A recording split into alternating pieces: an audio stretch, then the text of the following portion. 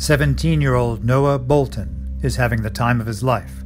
He's a lab technician at the Northern California biotech company Pridapt Incorporated, whose genetic research has brought extinct animals back to life and developed a revolutionary vaccine against cancer.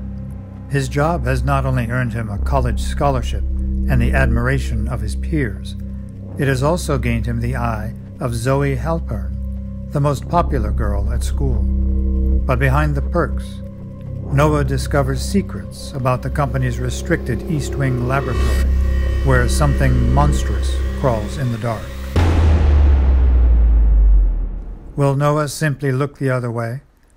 Or will he risk his status, his future, and even his life to bring the truth to light? Primordium, a young adult thriller by Mario Loomis.